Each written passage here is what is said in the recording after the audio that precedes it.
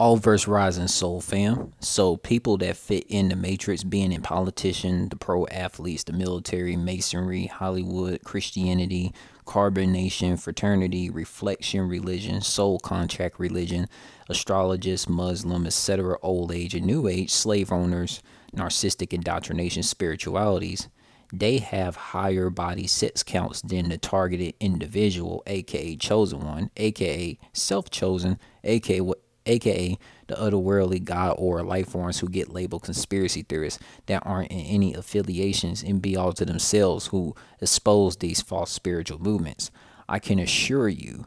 anyone that calls out the reflection, soul contract religion, and any indoctrination groups of the narcissistic slave owners society that get gang stalked because of being a otherworldly life form definitely aren't having sets or not having as much sets as the indoctrinated zombies in the prison indoctrination groups I've listed because the spiritual, soulful, vibrational, humanoid extraterrestrials are hardly gonna have all they are hardly and I repeat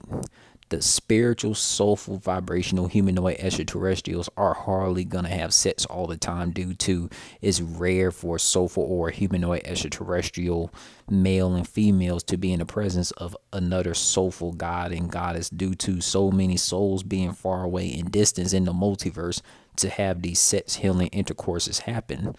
and also is no such thing as a Mason, fraternity person, military person, Christian, Jehovah, Carbon nation, Hollywood individual, and even those a part of the police indoctrination, spirituality indoctrinations have low to no body sex counts because it's inevitable for anyone in the slave owner false spiritual sellout groups to have high body sex counts mixing with other demonic people in those poisonous slave groups I've listed. You feel me? These are all facts.